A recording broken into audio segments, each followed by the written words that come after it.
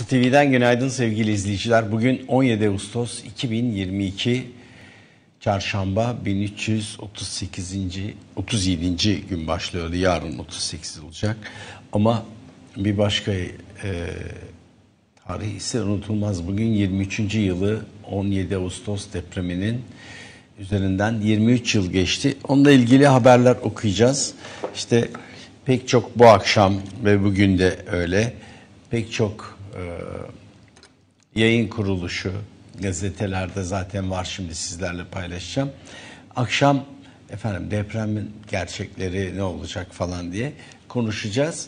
Yarın unutacağız. Bir de e, 12 Kasım var Düzce depremi. O zaman da biraz konuşacağız. Sonra tekrar uykuya yatacağız. Düşünsenize 20 sene geçmiş üzerinden. Bu sene 23 de. 20 sene geçmiş. Daha e, depremle ilgili herhangi bir ciddi çalışma yapılamamış. Yani işte kentsel dönüşüm diye binalar o e, batan batakçı müteahhitlere binaları yenilettiler falan. Ama onların ne kadar sağlam olduğunu ancak bir sonraki depremde göreceğiz.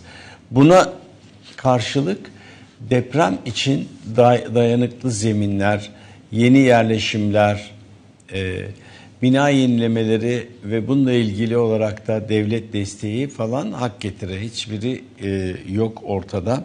E, sadece 17 Ağustos'u hatırlıyoruz. Ben de 17 Ağustos'ta hatırladıklarımı sizle paylaşacağım. E, o gece e, gece 3'te e,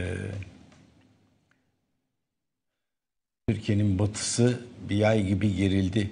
Şeyi çok iyi hatırlıyorum. Çünkü henüz uyumamıştım.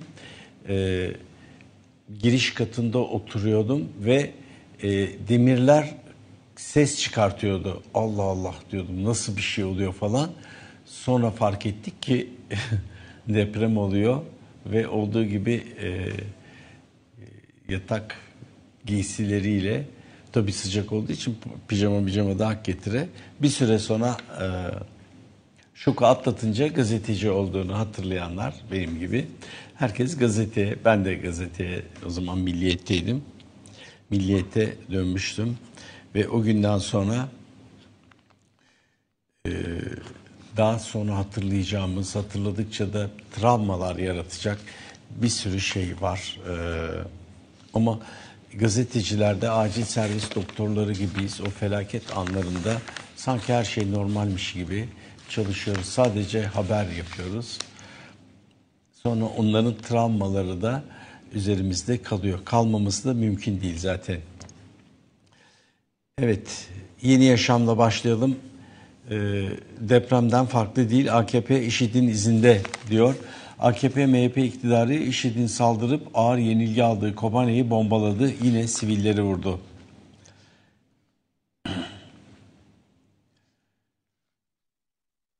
Kobane Ankara'nın kuyruk acısı diyor. Gündüz faturası ağır olur. HDP ee, eş genel başkan yardımcısı Özlem Gündüz olası bir Rojava işgal durumunun faturası Türkiye'ye hem ekonomik hem de siyasetten toplumsal olarak ağır faturaları olur diyor. Rojavalı yurttaşlar burası bir sinema sahnesi değil diyor. HDP'li temelli aklını yitirmiş zorba bir iktidar bu diyor. Bütün e, veriler onları gösteriyor. Ve diğer birkaç sol gazetede de muhalif gazetede de okuyacağız. Metin Çulhaoğlu yaşamını yitirdi. Tip kurucusu yöneticiler kadrosundan Metin Çulhaoğlu hayatını kaybetti. Çuhaoğlu Gelenek Dergisi, Sosyalist Türkiye Partisi, Sosyalist İktidar Partisi, Türkiye İşçi Partisi kurucu üyesi olarak görev yapmıştı. Ve en altta da bir cenaze haberi 8 ayda 43 tutuklu yaşamını yitirdi. Ayrıntıları birazdan okuyacağım. Birinci sayfalara bakarak gidelim. Evrensel fay hattı hazır. Türkiye değil başlığını atmış. On binlerce insanın öldüğü Marmara depreminin üzerinden 23 yıl geçti. İstanbul'da minimum 7.2 maksimum 7.6 büyüklüğünde deprem bekleyen uzmanlar Depreme ilişkin önlem alınmadığına da dikkat çektiler. Biz de buna katılıyoruz. Bugün Evrensel'in Genç Hayat 2 de var sevgili izleyiciler. Onu da gösterelim size. Sonra da evet e, sonra da devam edelim gazeteyle. Bazıları doğuştan zamlı diyor. Doğuş Üniversitesi'nin yıllık ücretlerine yılda e, bu yıl yüzde 300'lere varan zam yapılmış. Onu da okuruz birazdan. Bir güne bir günü manşeti yine deprem dediğim gibi e, depremi aslında hatırlamayan gazetede yok biraz sonra okuyacağız. E, hükümetin gazeteleri dahi onu da görmüşler. Çürük viyadükle depreme hazırız diyor. Gölcük depreminin ardından geçen 23 yılda İstanbul için bir arpa boyu yol kat edilmedi. Ulaşım altyapısı da sorunlu. Yeni Kapı e, AHL metro hattındaki Davutpaşa Merter Ticaret Merkezi viyadüklerinin risk taşıdığı açığa çıktı. Ama olsun diyorlar. Bir şey olmaz. Sözler yerine adımlar atılmalı. Şam ile uzlaşma açık, e, Şam ile uzlaşma açıklaması tartışılırken Şam Üniversitesi'nden Profesör Doktor Yuva e, Suriye'nin bekle pozisyonunda olduğunu söyledi. Ayrıca bir haber daha var. Bunu burada görmüyoruz. E, Adalet ve Kalkınma Partisi ile en yakın e, muhalefet partisi şeyde e, sözüm ona muhalefet Doğu Perinçek de Şam'a gidiyormuş. E, bunu da e, gazete pencerede var. Ondan sıra gelince birazdan e, sizlerle paylaşacağım. E, yani gitmiyor, gönderiliyor. Böylece Esed'den Esat'a doğru yeniden bir dönüş e, başlamış durumda. Perdeyi Çavuşoğlu açmıştı. Tepkiler çok sert olunca bir adım geriden e, götürüyorlar. Doğu Perinçek temsilci olarak devletin temsilcisi öyle şeyleri çok sever Doğu Perinçek. Aman daha fazla konuşmayayım yine bir dava açmasın. Yani olacak bir şey yok da ortada. Ee, sadece zaman kaybı. Sözcü gazetesiyle devam edelim. Sözcü gazetesinin manşetinde indirim oyunu var. Tarım kredi kooperatiflerinde göz boyama indirimi yapıldı. Fiyat indirildi denilen pek çok ürün diğer marketlerde zaten ucuza satılıyordu. Vatandaş da bunu gördü. Göstermelik indirime de isyan etti diyor. Ayrıca süresi geçmiş olan ve de evet burada var e, çörek otlu e, sepet peyniri İndirim 15 Ağustos'ta başladı. Çörek otlu peynirin altında yazan son tüketim tarihi de 15 Ağustos. Yani bugün 17 Ağustos 2 günlük bayat son kullanma tarihi 2 gün geçmiş. Efendim bir şey olmaz 2 günden falan diyebilirler. Evet öyle ama bu da sizin sahtekarlığınızın belgesi. Cumhurbaşkanı Tayyip Erdoğan'a açık mektup. Uğur Dündar yazmış. Sayın Cumhurbaşkanım hayatta böyle bir böyle bir kelime kullanamam. Günlerdir gözüme uyku girmiyor. Ne zaman yastığa başımı koysam kulağımda bir bebeğin çığlıkları, çaresizliğin sesini duymaya çalışan bir annenin feryatları geliyor. Sayıları 2000 civarında SMA'lı bebeklerin dramından söz ediyorum diyor Sayın Cumhurbaşkanım. Aslında Sayın Cumhurbaşkanı. Bir gazeteci e, benim takısını e, takarak başkanım, bakanım, valim, komutanım falan dememeli. Sayın Cumhurbaşkanı, Sayın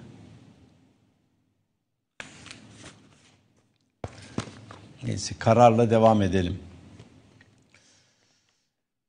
Ee, kararın manşetinde 1-23 yıl daha yok diyor. Depreme hazır değiliz. Bu Ada Pazarı'nda çekilen e, depremin ilk günlerine ait bir fotoğraf. Ajans fotoğrafıydı ama yani kült bir fotoğraf haline geldi ama hala kimi çektiğini bilmiyoruz. Mesela e, eskiden olsa bunların hem fotoğrafı çeken hem de fotoğraftaki e, yaşlı insanla konuşulabilirdi. 17 Ağustos'un ardından her yıl depreme hazırlık uyarıları yapıldı, raporlar yazıldı ancak geçen sürede beklenen felakete yönelik adımlar bile geriye gitti. Toplanma alanlarına AVM yapıldı. Evet İstanbul'da 400 e, küsür 420 alan falan vardı toplanma alanı. Oraların hepsi e, AKP iktidar tarafından bu 20 yılda parsellenerek satıldı ve AMV'ye AVM'ye dönüştü. Karar Gazetesi bitirdim. Cumhuriyet.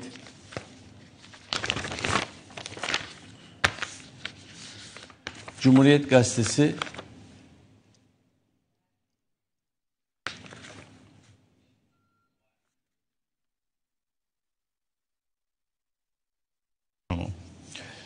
Ee, sofradan beş ekmek eksildi Cumhuriyet'in manşeti. İktidar buluşu kur korumalı mevduata her cepten günde 27,5 lira aldı diyor. Buzdağının görünen yüzü harekatın şifreleri AKP iktidarı Esad yönetimine temas arayışlarının altyapısı analizde burada Barış Doster yazmış. Erdoğan Putin ile Türkiye ilişkilerini yeni dönemin sinyallerini verdi. Türkiye Suriye konusunda ABD ile iletişimi uzak. Siyasi iktidar için bir askeri harekat e, sandığa olumlu yansıyabilir operasyon. Evet bunların sonra detaylıca okurum. Deprem artık daha yakın 17 Ağustos üzerinden 23 yıl geçti. Cumhuriyet bile bunu e, alt sayfadan vermiş. Hürriyete geçelim. Schengen oyunu var Hürriyet'in manşetinde. Schengen vize talebi reddedilen Türk vatandaşlarının sayısında patlama oldu. Buna rağmen vize ücretleri iade edilmiyor. Türklerin ödediği vize ücretleri yılda toplam 100 milyon euroyu buldu.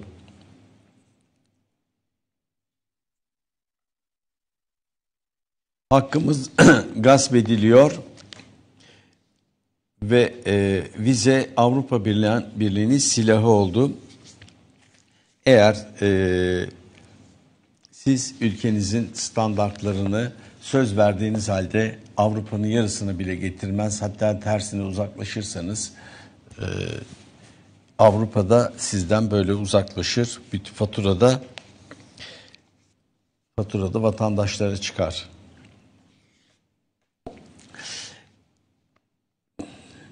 Gazeteci Hami Alkaner vefat etti. Hami Alkaner uzun yıllar Hürriyet gazetesinde çalıştı. Daha sonra Dünya Gazetesi'nde ekonomi muhabiriydi. Hami Alkaner 88 yaşında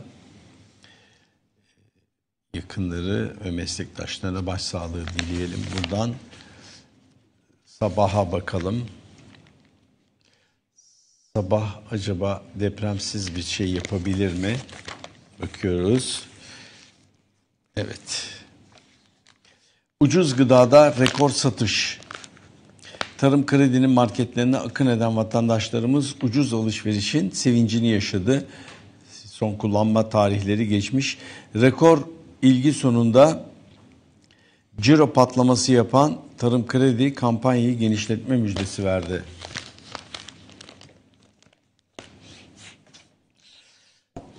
Bunların başkanı var Erdoğan.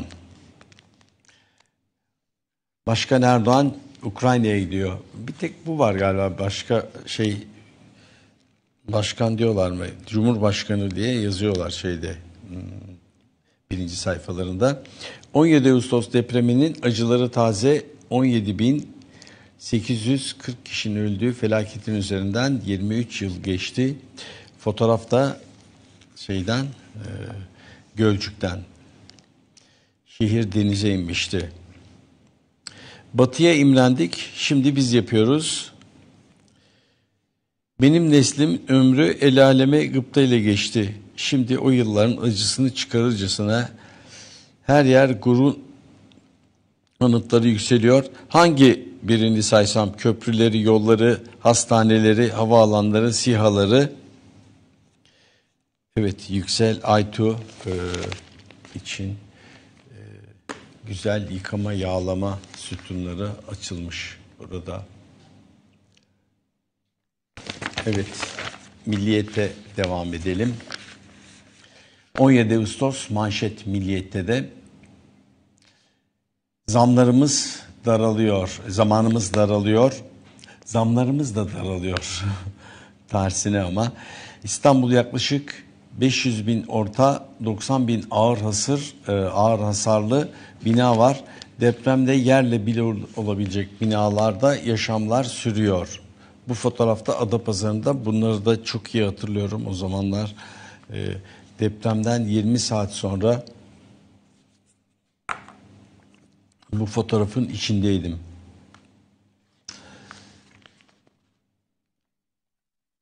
Bir spor haberinde buradan okuyalım. Dün akşam Trabzonspor'un maçı vardı.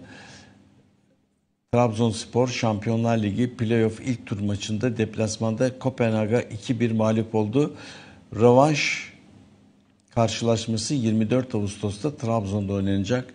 Temsilcimiz tur için sahaya çıkacak. 2-1'lik sonuç beraberlikten sonra en iyi sonuçtur. Ee, ama futbol bu. Deplasmana gelince hücum etmeyecek diye bir şey yok. 1-0'lık galibiyet yetebilir. Ee, 2-1 en riskli iç saha galibiyeti olarak kabul ediliyor. Şuraları biraz genişletelim. Gazeteleri tam açacağız şimdi. Evet. Yeni yaşamla başlayalım yeniden.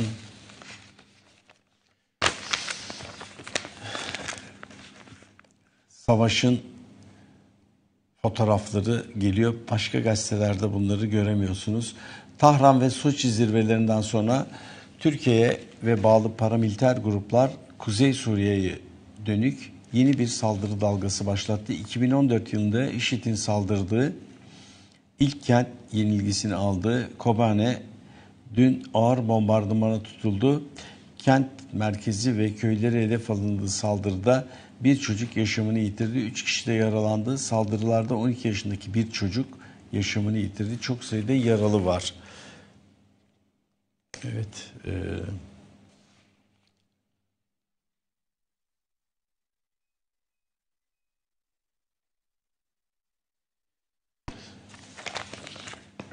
Sınır hattında çatışma yaşandı. Kuzey ve Doğu Suriye sınırında bulunan Mardin Kızıltepe ilçesine bağlı kırsal Dirbasiye mahallesinde bulunan yani köy orası e, sınır karakollarında şiddetli çatışmalar yaşandı. Köyde bütün ışıklar söndürülürken halkın dışarıya çıkmaması yönünde anonslar yapıldı. Çatışma sırasında bölgedeki askeri üste patlama meydana geldi. Yoğun ambulans hareketliliği yaşanan bölgede yaralı askerlerin olduğu belirtiliyor. Bir uzman çavuşun e, hayatını kaybettiği haberleri e, daha sonra baskı yapabilen gazetelerde yer alıyor.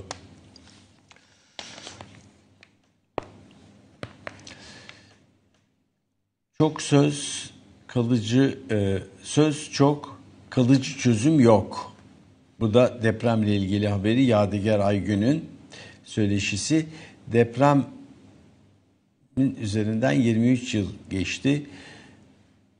23 adım attı mı ülkemiz diyor. Bu sorunun yanıtını %23 çözüldü mü?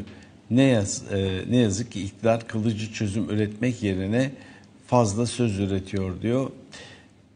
E, Canan Tabak ve deprem bilimci akademisyen Savaş Karabulut konuşmuş. Burada soykırımcı zihniyetin Mehmet'i katletti diyor fotoğrafta.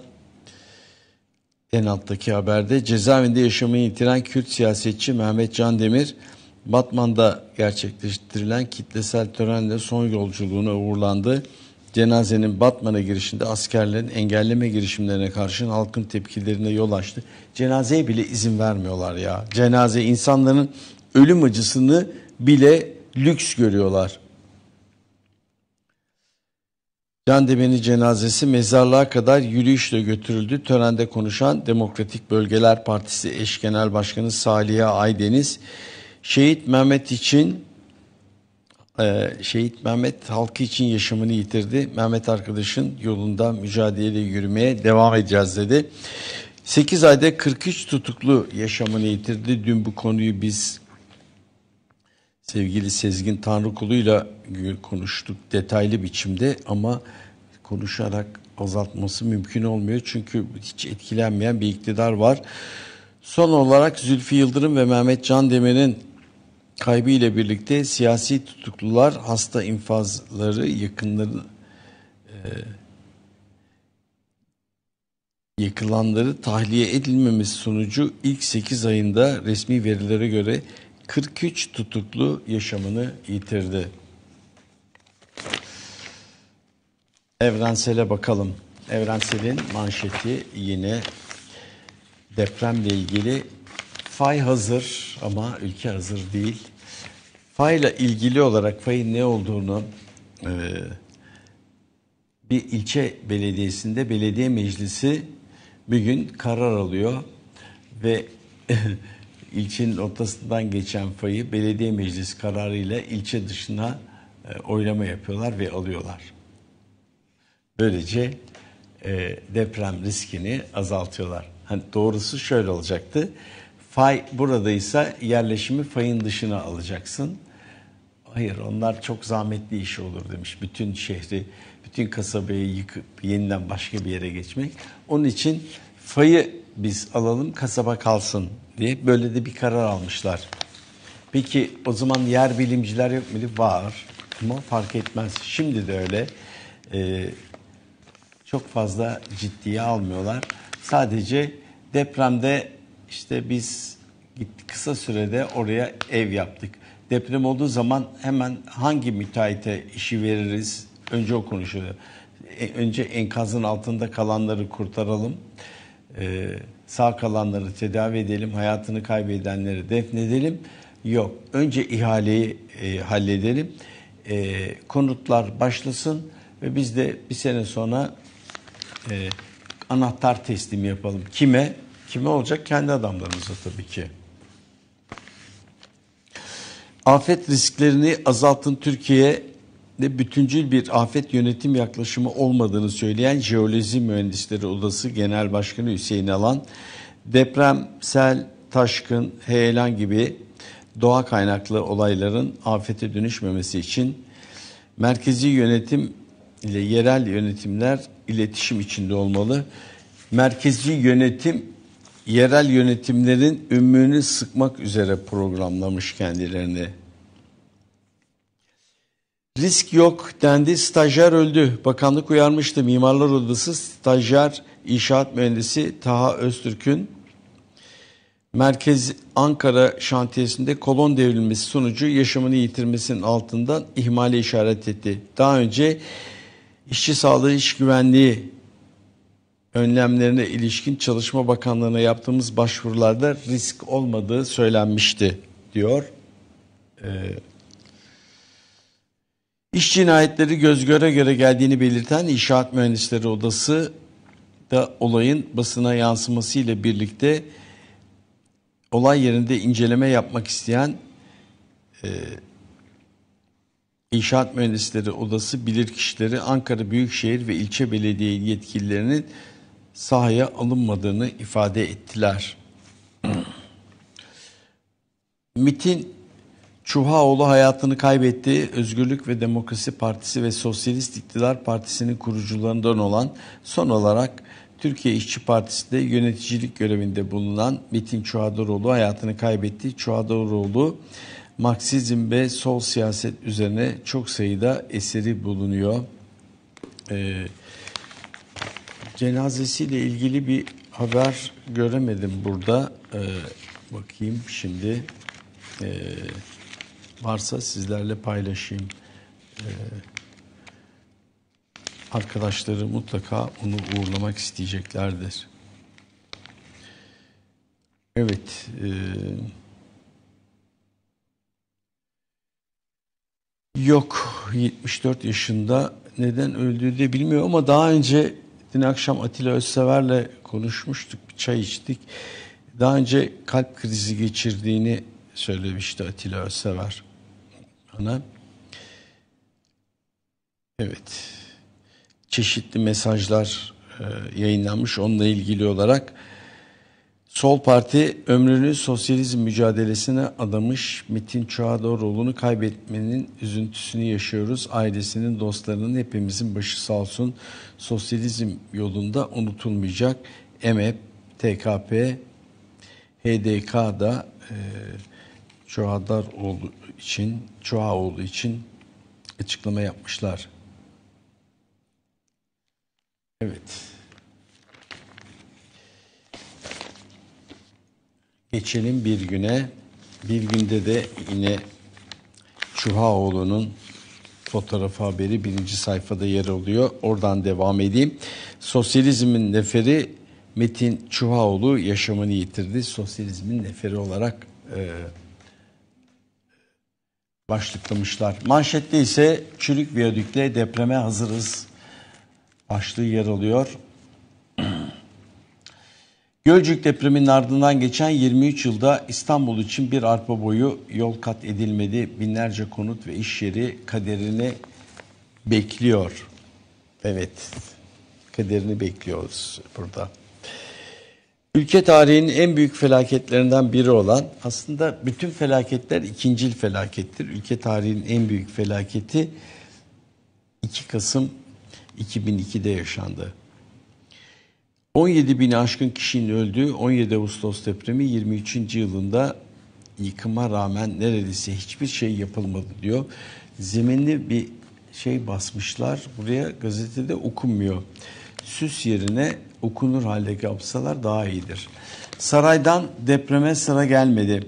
Depremin gerçekleştiği 1999'dan bu yana depreme hazırlık adıyla milyar dolarlar halkın cebinden vergi olarak toplandı ama ne yazık ki ne İstanbul'da ne de ülkenin başka noktalarında ciddi denilebilecek bir adım atıldı. Sadece 2022'de yaklaşık 200 okul, havalimanı, halk eğitim merkezi, spor salonu ve huzur evi gibi kamu kurumlarının deprem güçlendirme ihalesi iptal edildi. İhale iptal edildi. Yani paramız yok, gerek de yok. Bizim durumumuz iyidir diyor. Türk Mimar Mühendis Odaları Birliği Yönetim Kurulu Başkanı Emin Koramaz siyasi iktidar üzerine düşeni yerine getirmedi. Getirecek mi? Onda da pek umutlu değiliz. Dört kalem üründe ucuzluk reklamları. Erdoğan e, talimat veriyorum şey e, ucuzlatılsın. E, o kadar kolay olsaydı e, ekonomi bugün rayına girerdi. Öyle değil mi sevgili izleyiciler? Dosyalar artarken verileri sakladılar. Uyuşturucu kullanımı yaşı ilkokul sıralarına kadar indi. Bu alanda yönelik veriler iktidar tarafından bilinçli şekilde gizleniyor. Bunlar da özgürlük hareketi. Evet. E, dün Erdoğan'ın e, partisinin kuruluş 21. kuruluş yıl dönümü nedeniyle yaptığı konuşmalarda özgürlükleri genişlettik dedi. Nerede genişlettiniz?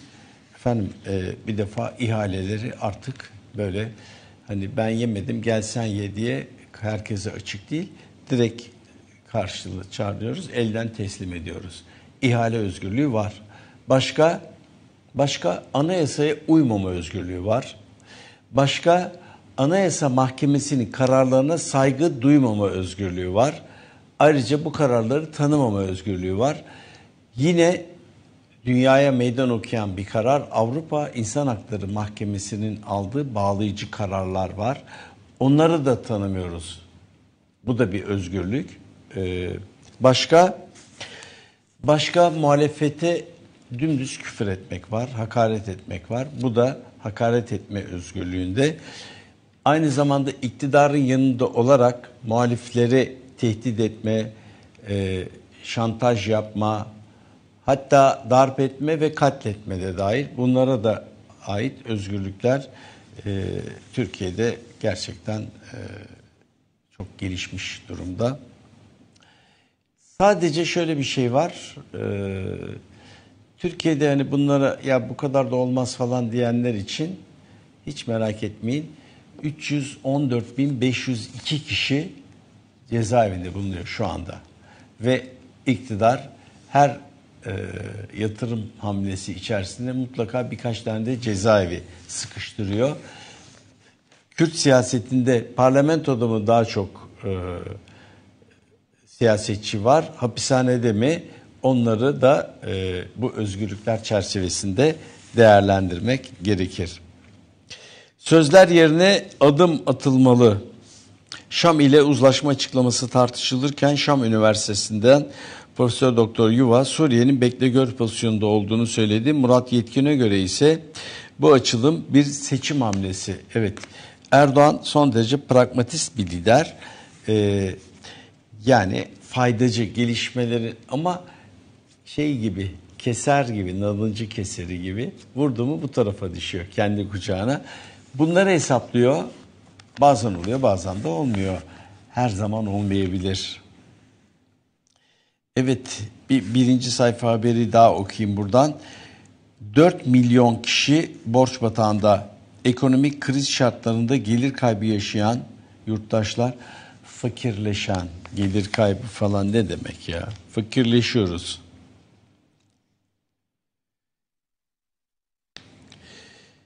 Bir de iyi haber var. Burada küçük kalmış. Onu da sizlerle paylaşayım. Milli Park Simpaş'tan geri alındı.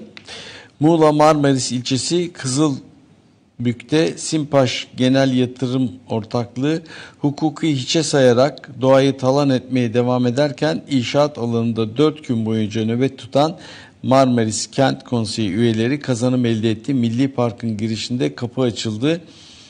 Milli Park içerisine giren Marmaris Kent Konseyi Ekolojik Mühendis Mücadele Komitesi diğer girişteki kapıya giderek nöbete devam edeceklerini belirttiler. Milli Park Simpaş'tan geri alındı. Tam olarak öyle değil ama olsun bu da bir şey. İnsanlar mücadele ediyorlar ve bunları da yansıtmak, desteklemek gazeteciler olarak bizlerin görevi. Sözcü gazetesine geçelim. Manşette teşekkürler Türkiye başlığı var sür manşette. Sözcü eski gazeteleri geri dönüşüme kazandırmak için başlattığı dünkü gazete yarını kurtarıyor kampanyası büyük ilgi gördü. Başvuru yağdı. Edirne'den Artvin'e, Sinop'tan Mersin'e Türkiye'nin dört bir yanından binlerce okurumuz kampanyaya katıldı. Beşinci günde toplanan talep 200 bin gazete oldu.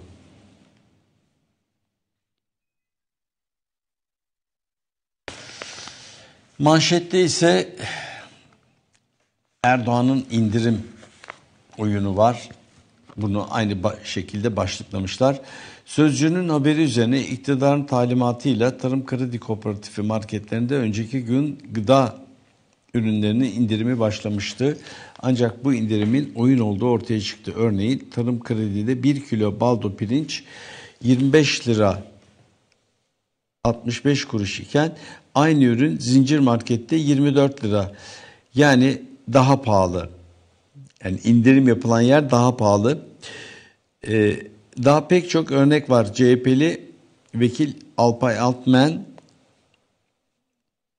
tarım kredi marketlerindeki fiyatları inceledi. İndirim yok, bindirim var. Lütfen halkı kandırmayın dedi. Zaten tarım kredi marketlerine giden vatandaş da bu oyunun farkında dişe dokunur bir indirim olmadığını görüyor. Batuhan Serim'in haberi. Tarım krediden alışveriş yapan yurttaşlarla da konuşmuşlar. Fiyatlar çok değişen bir şey yok. Birkaç üründe indirim yapılmış o kadar. Çok değil biraz indirim var. Fiyatlar bütçemizi zorluyor. Marketleri geziyoruz demiş Fatma Barış hanımefendi. Burası diğer marketlerden pahalı. 400 gram et 51,5 lira. Diğerinde 49,5 lira. Ayrıca ucuzluk marketlerinde ve büyük daha büyük zincirlerde her zaman e, bir indirim var sarı etiketler falan filan yapıyorlar. Telefon numaranızda da eğer şey yapmışsanız size e, hatırı sayılır bir indirim yapıyorlar. Mesela e, bir al e, iki al bir öde diye. Bir haber daha burada. İmamlara eskort soruşturması açıldı. Tele kızlarla alem yaptıkları iddia edildi. Yakışır. Denizli sosyal Denizli sosyal medyadan eskort kadın bulup alem yaptığı söylenen 3 imam ve bir müezzini konuşuyor. Diyanet İşleri Başkanlığı Denizli'deki 4 din görevlisi hakkında eskort kadınlarla birlikte oldukları iddiasıyla soruşturma başlattı. Bu kişilerin camiye kayıtlı cep telefonlarını kullanarak eskort kadınlarla yaptığı yazışmalara rastlandığı belirtiliyor. Selami Aydın'ın haberi. Evet, e, çok para ve hiç muhalefet yapılmazsa hani gazeteler hep alkışlarlarsa işte bunlar çıkıyor. Daha bunun gibi neler var? Mesela şimdi e, bu skandal Sedat Peker'in ortaya attığı, açtığı dosyalarda hepsinin kayıtları da var. E, numaraları var, konşimento numaraları var, gümrük kayıtları var. Hepsi ortada ve bakıyorlar, evet diyorlar. Yani böyle şeyler olmuş olabilir. Ee, ikrar var yani. Evet diyor yani biz bunları yapıyoruz ama bizi soruşturacak kimse yok. O yüzden e, gülümseyerek bakıyorlar sadece bu rezaletlere. Bunlar da Diyanet işlerinin e, rezaletlerine girecek. Daha başka rezaletleri de çıkacak tabii onların. Bu kadar denetimsiz, kontrolsüz. Evet, Yılmaz Özdil yazılarına başlamış. Ee, dün yoktu. AKP 21 yaşında nereden buraya diyor. O nereden nereye diye şarkısı var şeyin. E, AKP de onu kullanıyor. 21 yıl önce diye 14 Ağustos 2001 AKP kuruldu. Asrın Liderimiz Partisi ilkelerini açıkladı. Erdoğan ve arkadaşları dinsiz değildir dedi. Daha ilk cümlesinde de rakiplerinin dinsiz olduğunu ima etmişti. AKP'nin ilk grup toplantısından mübarek cuma günü yapıldı. Her adımda din vurgusu vardı. O gün dünyaya gelenler bugün 21 yaşında, o gün 30 yaşında olanlar bugün 50'sini geçti. Dolayısıyla T o günlerin kelimesi kelimesine hatırlayabilecek elbet hatırlayabilmek elbette imkansız. Bu yüzden asla unutulmayan hafızdan arşivden hafızadan arşivden aktarıyorum kelimesi kelimesini. Asrın liderimizin ilk vaadi yolsuzluklarla mücadeleydi. Türkiye'yi soyanları bir bir açıklayacağız dedi. İkinci vaat milletvekili lojmanlarının satılmasıydı. Özal'ın başbakanlığı döneminde 450 dubleks villa ayrıca apartman şeklinde 160 daire inşa edilmişti. Milletvekilleri oturuyordu. Hepsini satacağız dedi. Milletin seçtiği kişiler duvarların arkasında özel korumalı mekanlarda oturmamalı, milletle birlikte oturmalı dedi devlet ma e, devletten maaş alıyor, alıyorlar. Bedava lojmanda oturmaktansa herkes gibi kiraya çıksınlar. Dolayısıyla halkla bütünleşsinler dedi. Yazı uzun tabii hepsini okuyamam ama e, Yılmaz Özdil'in akıcıdır biliyorsunuz üslubu. E, ve şöyle bitirmiş. Asrın liderimiz habire nereden nereye diyor ya nereden buraya 21 yıl önce layık ahlak sorunlu dedikleri işte bu diyor. Evet uyuşturucu da var. Uyuşturucu baronları Türkiye'de cirit atıyor. Dünyanın her yerinde tutuklanmak üzere fellik fellik aranan mafya babaları Türkiye'de itibarlı iş adamı sıfatıyla vatandaşlık veriliyor. Evet. Aynı zamanda Cumhurbaşkanlığı e, ilk uçağı olan ana uçağı şu anda Brezilya'da 25 koli kokainle tutuklanmış vaziyette. Bizimkilerden hiç ses yok. Evet artık uçak Cumhurbaşkanlığı envanterinde değil ama oradaydı. Oradan bir benzin kaçakçısına satıldı uçak. O da uyuşturucu kaçırmaya başladı ondan ve Brezilya'da duvara tosladılar. 25 koli e, şey var, e, kokain var orada duruyor. Uçağın pilotu da benim haberim yok falan dedi ama pilot ne taşıdığını bilmeden olabilir mi? Sonra Sezgin Baran Korkmaz'ın da siyah bir uçağı var. Süleyman Soylu'yu taşımış İçişleri Bakanı'nı. Bu adam hakkında kim ne yapabilir? yabancı devletler tabii ki bunu biliyorlar. Çünkü kara paralar aklanıyor ve büyük miktarda uyuşturucu trafiği var. Onu da attılar içeriye. Şimdi Avusturya'da Amerika diyor ki bize verin. Ee, bizimkiler bize verin. Zaten biz sana verecekse sen yargılardın onu. Ama bizden git ne halin varsa gör dediler. Evet. Evet Karar Gazetesi bir 23 yıl daha yok diyor kararda. Depreme hala hazır değiliz. Biz öyle depremler görüyoruz ki e, bunlar nedir ki diyor. 17 Ağustos'un ardından her yıl depreme hazırlık uyarıları yapıldı. Raporlar yazıldı ancak geçen süre beklenen felakete yönelik atılan adımlar bile geriye gitti diyor. Çağatay çaldı, Kemal Bey dinledi. Seçim gündeminin e, ısındığı dönemde siyasi ajandası yoğunlaşan Kılıçdaroğlu İstanbul'da özel bir ziyaret gerçekleştirdi. CHP lideri Down sendromlu Çağatay Aras'la Kurtköy'deki evinde bir araya geldi.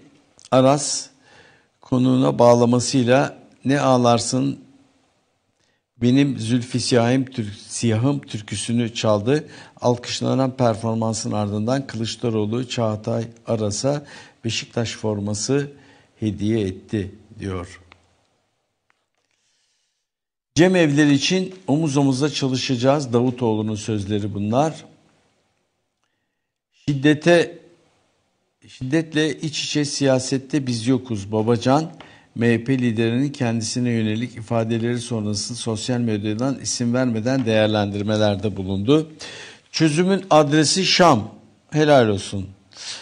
Ankara Esad yönetimiyle yeni süreç sinyallerini arttırırken Suriye'deki muhalefete Şam'da diyalog mesajları veriyor. Çavuşoğlu'nu kalıcı olan siyasi çözüm bunun için rejim ile muhalefet temas kurmalı. Ya o kadar e, o kadar zavallı bir durum ki yani hani siz oraya demokrasi getiriyordunuz, paralı askerler buldunuz, getirdiniz Libya'dan oraya getirdiniz, dünyanın değişik yerlerinden getirdiniz. Bir de Suriye'nin içindekilere maddi destek verdiniz, silah yardımı yaptınız. Hem de ağır silahlar yardımı yaptınız. Şimdi diyorsunuz ki gidin onlarla anlaşın. Onlar bir kaşık suda boğacaklar. Bir de böyle getirince sen direkt e, muhalefeti götür oraya duvarın dibine diz. Onların silahlarıyla da kurşunu dizdir. Ve tabii ki onlar da bunu bir ihanet olarak değerlendiriyorlar. Çünkü Türkiye'nin orada bir çıkarı yoktu. Dost olmanın avantajlarını yıllarca yaşamıştı. Ee, güneyinde 10 yıl süren bir savaş vardı İran-Irak savaşı. Oradan Türkiye'ye tek bir mermi bile düşmedi. Neden? Çünkü Türkiye'nin e, misak milli sınırları dışında e, gözü olmadığını bütün herkese anlatmıştı o zamanlar Türkiye. Evet, e, Cumhuriyet'e de bakalım. Cumhuriyet sofradan beş ekmek eksildi manşeti var. Yurttaşın cebinden zenginin cebine gitti. Ne alınıyordu diyor. Kur korumalı mevduat bütçe yükü kişi başına 829 lira. 4 kişilik bir aileye yükü ise 3316 lira. Bizim cebimizden alıp zenginlere veriyorlar bunları. Şimdi gelelim efendim e, Gazete Pencere'ye. Gazete Pencere'de yayına başlarken söylediğim şey vardı. Doğu Perinçek haberi aslında onu daha bir yukarıya çekseler daha da iyi olurmuş herhalde. Evet. Esed'den Esad'a yolculuk başladı. Cumhurbaşkanı Erdoğan Tahran dönüşünde gazetecilere yaptığı Rusya Esad ile doğrudan Esad bak diyor. Temas kurumu etmemizi istiyor açıklamasının ardından Ankara'da Suriye ilişkin dil belirgin biçimde değişti. Dışişleri Bakanı Mevlüt Çavuşoğlu geçen hafta muhalefetteki Suriye rejimine muhalefetle Suriye'deki rejim bizim bir şekilde anlaştırmamız lazım. Aksi takdirde kalıcı barış olmaz demişti.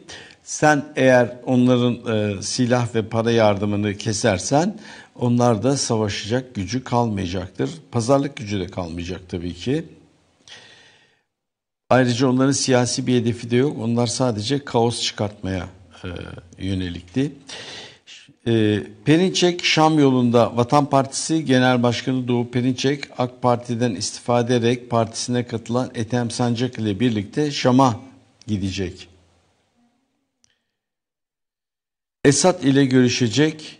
Görüşmesinde heyetler arası yapılacağını açıklayan Doğu Perinçek ziyaretten hem Moskova'nın hem de Ankara'nın bilgisi olduğunu söyledi. Perinçek amaçlarının Türkiye ile Suriye'yi yeniden her alanda işbirliği yapması olduğunu vurguladı. Ziyaret tarihi de net değil ancak iki hafta içinde heyetin Şam'a gitmesi bekleniyor. Erdoğan dış politikayı da Perinçek'e emanet ettiyse vah gülüm keten elva şarkısı söylenebilir. Rusya'dan ikinci S-400 manevrası. Batı dünyası Türkiye-Rusya ilişkilerini dikkatle takip ettiği bir dönemde Moskova'dan zamanlaması madenar bir açıklama geldi. Rusya Federal Askeri Teknik İşbirliği Teşkilatı Başkanı Dimitri Shugayev, Türkiye ile ikinci parti S-400 anlaşması imzalandığını duyurdu. Rusya'nın resmi devlet ajansı TASS'ta yer alan habere göre ikinci parti S-400 anlaşması hava savunma sistemlerinin bazı parçalarının Türkiye'de üretilmesini de öngörüyor dedi. Türkiye gazetelerinde haberi bu şekilde olmuş oldu. Sevgili izleyiciler şimdi kısa bir ara saat başında bugün Tuncer Sümer bizim konuğumuz olacak denizlerin arkadaşı kitabı da yeni kitabı Denizleri Kurtarmak e, kitabını konuşacağız. Aynı zamanda 17 Ağustos'u da elbette konuşacağız. 17 Ağustos'ta yapılanlar yapılmayanları da ekranlarınıza getireceğiz. Şimdi kısa bir ara saat başında 9'da karşınızdayız.